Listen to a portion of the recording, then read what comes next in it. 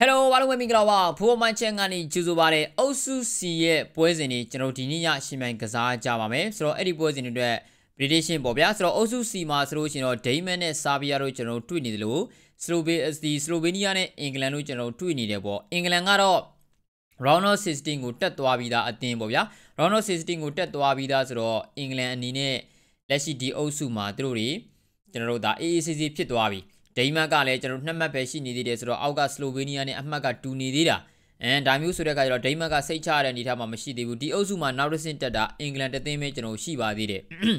ဆိုတော့အင်္ဂလန်အနေနဲ့အဆင့်1ကနေပြီးတော့သူတို့တွေနောက်တစ်ဆင့်တက်ဖို့သူတို့ကြိုးပမ်းမလားဒါမှမဟုတ်ဘူးဆိုလို့ရှိရင်အပြောင်းလဲတွေအများကြီးလုပ်ပြီးတော့သူတို့တွေဘောနော်မထင်မှတ်တဲ့ရလက်တွေကျွန်တော်တို့ထွက်လာမလားကျွန်တော်တို့ကြည့်ရမယ်ဆိုတော့ဒိန်းမတ်နဲ့ဆာဗီးယားပွဲကိုကျွန်တော်အရင်ဆုံးကြည့်အောင်ဒိန်းမတ်နဲ့ဆာဗီးယားပွဲမှာဆိုလို့ရှိရင် ကျွန်တော်ဒိမတ်တွက်ကအန်ဒီရဲ့တအားများပါတယ်ရှင်းနှစ်ပွဲမှာသူတို့တွေပေါ့နော်နှစ်ပွဲစလုံးတည်ကြထားတာနော်နိုင်ပွဲတစ်ပွဲမှမရသေးတယ်လို့ရှုံးပွဲလည်းတစ်ပွဲမှမရှိသေးဘူးအင်္ဂလန်ကိုလည်းတည်ကြတယ်စလိုဗေးနီးယားကိုလည်းသူတို့တွေတည်ကြတယ်ဆိုတော့ဒိမတ်ကနောက်တစ်ဆင့်တက်ဖို့အတွက်ဆိုလို့ရှိရင်ဒီပွဲကသူတို့တွေနိုင်ဖို့လိုပါတယ်နော်ဆိုတော့နိုင်အောင်နိုင်အောင်ဆွမ်းဆောင်နေမှရမှာတကယ်လို့များအင်္ဂလန်က၄မှတ်နဲ့ထပါတော့ဗျာစလိုဗေးနီးယားကအင်္ဂလန်ကိုနိုင်သွားတယ်ဆိုလို့ရှိရင်ဒိမတ်ကတည်ကြတယ်ဆိုလို့ရှိရင်ဒိမတ်ကအဆင့်၃နေရာမှာကျန်ခဲ့မှာ ရှုံးတာပဲဖြစ်ဖြစ်တည်ကြတာပဲဖြစ်ဖြစ်အခြေအနေမကောင်းရင်အမြင်ရလဲတော့အဆင့်3ကနေတော့မှနောက်တစ်ဆင့်ကိုတက်နိုင်မယ့်အနေအထားမှာမရှိတော့ဘူးဒါဟာဒိတ်မတ်တွက်တာအန်ဒီရများပါတယ်เนาะဆိုတော့စလိုဗေးနီးယားကတော့အင်္ဂလန်ကိုအနိုင်ယူဖို့ဆိုတာမျိုးကတော်တော်ကြီးခဲရင်းနေပေါ့ဗျာဒါပေမဲ့ပြောချင်တာကမထင်မှတ်တာတွေဒီအုပ်စုမှာကကျွန်တော်ဖြစ်နေကြတာဆိုတော့ဒါကြောင့်ဒိတ်မတ်အနေနဲ့ဆာဘီယာကိုတော့သူတို့ဒီနိုင်အောင်ဆော့မှရမယ်ဆာဘီယာရဲ့ဘက်ကလည်းဒီပွဲနိုင်တာနဲ့၄မှတ်ဆိုတဲ့ခါကျတော့သူတို့ဟာနောက်တစ်ဆင့်တက်ဖို့အတွက်အခြေအနေအများကြီးကောင်းပါတယ်အခုကတမှတ်ပဲသူတို့ဆာဘီယာကယာသေးတာเนาะ ဒါပေမဲ့အဲ့ဒီတမှတ်ကိုကပဲဒိမတ်ကိုနိုင်လိုက်တာနဲ့သူတို့ကနောက်တစ်ဆင့်ကိုကျွန်တော်တက်ဖို့အတွက်၄မှတ်ဆိုတာကပြီးသွားပြီဒါကြောင့်ဘယ်လိုလဲရှိမှဆိုလို့ရှိရင်ဆာဘီယာအတွက်ကောဒိမတ်အတွက်ကောအချီနီက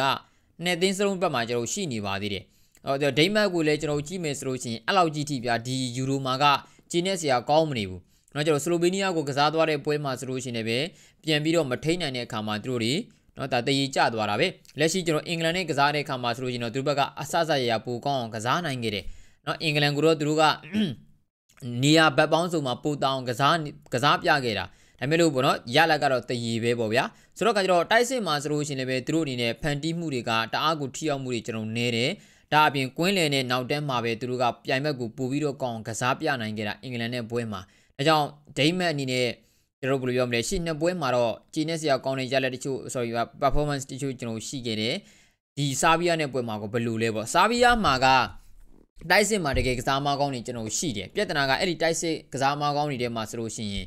တော်တော်ကိုအချီနီနေတာကတိုက်စစ်ကကျွန်တော်ဟိုကောင်းမယ်ပါတယ်အဲ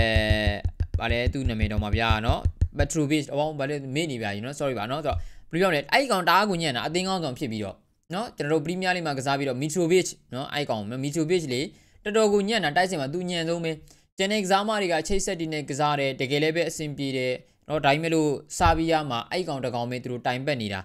သူတယောက်ပဲတိုင်ပတ်နေတာဒါကြောင့်လော်တင်မှာဆိုလို့ရှိရင်ဆာဗီးယားအနေနဲ့ဒိမတ်ကိုဒုက္ခပေးနိုင်တဲ့တိုက်စစ်မျိုးတွေသူတို့မှာပိုင်ဆိုင်ထားတယ်ပေါ့နော်ဒူဆန်ဘလာဟိုဗစ်တို့ကဒူဆန်တာဒစ်တို့ကပြီးလို့ရှိရင်ကျွန်တော်တို့ပေါ့နော်အရန်မှာရှိတဲ့ကျွန်တော်တို့ဒါကစားမတွေကတကယ်သူတို့မှာလူစားလဲစရာတိုက်စစ်တွေအများကြီးပြဿနာကကွင်းလင်းနဲ့နောက်တန်ဒါအပြင် အသင်းလိုက်ဖွဲ့စည်းမှုရဒိမတ်ကိုတော့ရှင်နိုင်မှုတော့မလွယ်ဘူးပေါ့ဗျာဒါပေမဲ့ဒိမတ်မှာက physicality ရကျွန်တော်အနေနဲ့စာပြရကိုကောင်းကောင်းဒုက္ခပေးနိုင်တဲ့နေရာမှာပါနေတယ်လို့ကျွန်တော်မထင်ဘူးဆိုတော့ဒီပွဲဟာတကယ်ကို physical ရကျွန်တော်အဆုံးဖြတ်အများကြီးပြည့်မဲ့ပွဲလို့ကျွန်တော်ထင်တယ်။ဒါကြောင့်စာဘီယာအနေနဲ့ဒီပွဲကကျွန်တော်သူတို့ပွဲလည်းပဲနိုင်နေဆိုလို့ရှိရင်နောက်တစ်ဆင့်ကိုတက်မှာဖြစ်တဲ့အတွက်ရအောင်တော့သူတို့တွေကြိုးပမ်းလာမှာပဲဒီပွဲကတော်တော်ကိုကြည့်ကောင်းမှာပါ။နော်ဆိုတော့ဒိမတ်အတွက်ကတော့မလွယ်ကူးလို့ကျွန်တော်ထင်တယ်။နော်တို့တော့လည်းပဲဒိမတ်ကဒီပွဲမှာဆိုလို့ရှိရင်အနိုင်ရတဲ့လူကိုလူပါတယ်။အနိုင်ရတဲ့ ဒါမှမဟုတ်တရေတမှတ်တော့သူတို့တွေ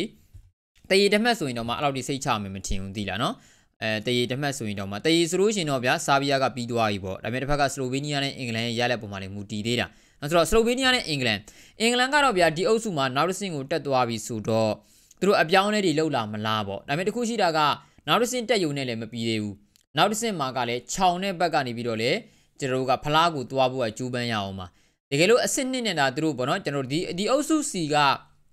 အဆင့်နှစ်ကကျွန်တော်တို့အုပ်စု A ဂျာမနီနဲ့တွေ့မှာဆိုတော့ဒီအုပ်စု C ရဲ့အဆင့်နှစ်ကအုပ်စု A ဂျာမနီနဲ့ကျွန်တော်တို့တွေ့မှာအင်္ဂလန်ဟာလက်ရှိမှာဆိုလို့ရှိရင်ဂျာမနီကိုရှောင်ကျင်မှာပဲဘာလို့လဲဆိုတော့ဂျာမနီကိုယ်တိုင်ကလည်းအင်္ဂလန်ကိုရှောင်ကျင်မှာပဲဘယ်အသင်းကြီးမှ round of 60မှာစောစောစီးစီးတွေးကျင်ကြလိမ့်မယ်လို့ကျွန်တော်မထင်ဘူးဒါပေမဲ့ပြဿနာတခုကအင်္ဂလန်ဟာစလိုဗေးနီးယားကိုနိုင်အောင်ကစားနိုင်ပါမလားတရီတမှတ်နဲ့တင်ပြီးသွားမလားတရီတမှတ်ဆိုလို့ရှိရင်တော့စလိုဗေးနီးယားက3မှတ်ဆိုတော့ အဆင့်3နေရာကနေနောက်တစ်ဆင့်တက်တာမျိုးပဲဖြစ်ဖြစ်ဒိမတ်ကပေါ့နော်ကျတို့နေမနိုင်ခဲ့လို့ပေါ့နော်အဆင့်2နေရာကိုပြောင်းလာတာမျိုးပဲဖြစ်ဖြစ်စလိုဗေးနီးယားကတရီတမှတ်ဆိုရင်တော့မှအများကြီးမျှော်လင့်လို့ရတယ်တရီတမှတ်ဆိုရင်နောက်တစ်ဆင့်တက်ဖို့အတွက်အများကြီးမျှော်လင့်လို့ရတယ်စလိုဗေးနီးယားရဲ့ဘက်က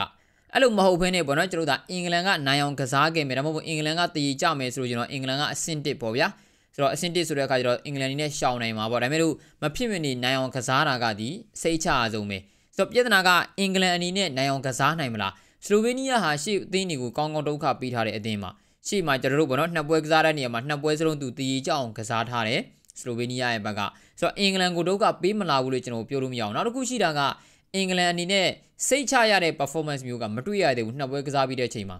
နှစ်ပွဲကစားပြီးတဲ့အချိန်မှာသူတို့ပေါ့နော်တပွဲနိုင်တပွဲတည်ရတော့ကြထားတယ်အဲ့ဒီနှစ်ပွဲစလုံးမှာအင်္ဂလန်ပြည်သက်တွေအားရစရာကောင်းတဲ့ performance မျိုးဒီအသင်းစီကမြင်မထားရသေးဘူး ဆိုတော့နောက်တစ်ဆင့်ကိုတော့သူတို့ကတက်သွားပြီဖြစ်တဲ့အတွက် Gareth Southgate အနေနဲ့တကယ်လို့ရဲတင်းတဲ့အပြောင်းအလဲတွေလုပ်လာမယ်ဆိုရင်လုပ်ရမယ့်အချိန်ရောက်ပြီ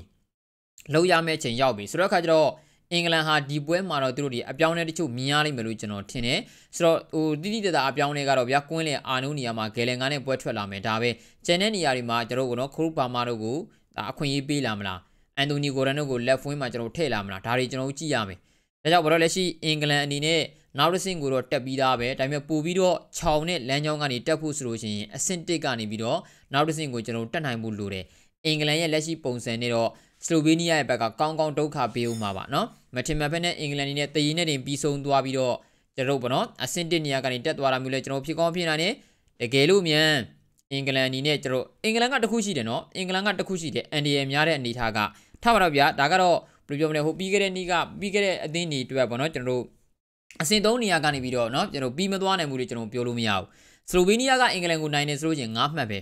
ဒိမန်ကဆာဘီယာကိုနိုင်တယ်ဆိုလို့ချင်း9မှတ်ပဲဆိုတော့9မှတ်9မှတ်ဆိုလို့ရှိရင်တော့အဆင့်1နဲ့2ကိုစလိုဗေးနီးယားနဲ့ကျွန်တော်ဒိမန်ကရသွားမှာပဲအင်္ဂလန်ကတော့အဆင့်၄နေရာကအဆင့်၃နေရာကနေပြီးတော့နောက်တစ်ဆင့်ကိုတက်သွားမှာနောက်တစ်ဆင့်ကတော့တက်ပြီးသားပါနောက်တစ်ဆင့်ကတော့တက်ပြီးသားပါ၄မှတ်ဆိုတဲ့အတွက်ပေါ့နော်ဒါပေမဲ့လည်းလို့အုပ်စုဘူနဲ့တက်အောင်လုပ်ရမယ်ဗျာဆိုတော့ဘယ်လင်ဂန်တို့ကိုအနားပေးလာမလားဟယ်ရီကိန်းတို့ကိုအနားပေးလာမလားကျွန်တော်တော့မထင်ဘူးဒီလိုမျိုးပွဲမျိုးမှာ အုပ်စုအဆင့်1နေရာကိုရဖို့တည်ကြအောင်ကျူးပန်းရမယ့်ကျွန်တော်ပွဲမျိုးမှာတော့ဟယ်ရီကိန်းကြီးကိုအနားပေးလိမ့်မယ်လို့ကျွန်တော်မထင်ဘူးဘယ်လင်ဂန်ကိုအနားပေးလိမ့်မယ်လို့ကျွန်တော်မထင်ဘူးဒါပေမဲ့ကျွန်တော်အထင်ကတော့နောက်တစ်ဆင့်ကိုတက်ပြီးသားဖြစ်တဲ့အတွက်အတိုင်းအတာတစ်ခုတည်းတော့2နေရာ3နေရာလောက်တော့အပြောင်းလဲလှုပ်လာလိမ့်မယ်လို့ကျွန်တော်ထင်တယ်